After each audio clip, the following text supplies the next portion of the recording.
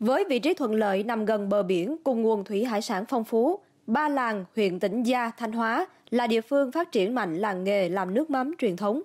Từ lợi thế đó, nhiều đơn vị hiện nay đã mạnh dạn đầu tư sản xuất để cung ứng ra thị trường các sản phẩm nước mắm chất lượng cao, được khá nhiều người tiêu dùng lựa chọn.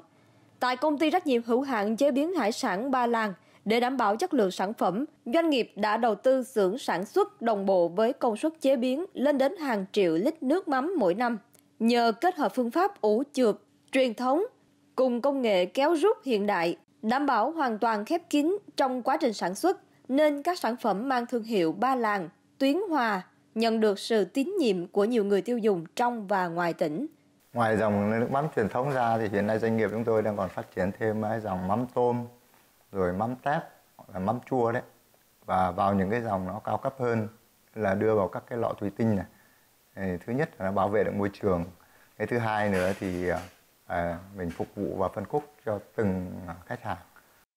Để đáp ứng nhu cầu của khách hàng, hiện đơn vị này sản xuất nước mắm với trữ lượng đạm khác nhau từ 10 đến 30 độ đạm.